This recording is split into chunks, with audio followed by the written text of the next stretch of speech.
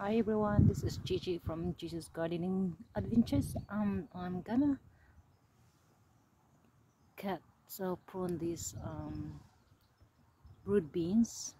I'll initially just planted it as a to mulch the garlic as a living mulch. So I already cut this one once and they just grow another shoots.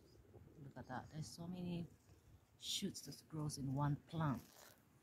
So what I do uh, I know it's a bit of shame that the of flowers and the bees love it but I have planted so many broad beans just for the purpose of making it a living mulch.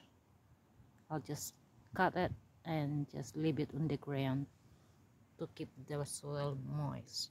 This is the garlic and they're a bit shaded out from the broad beans.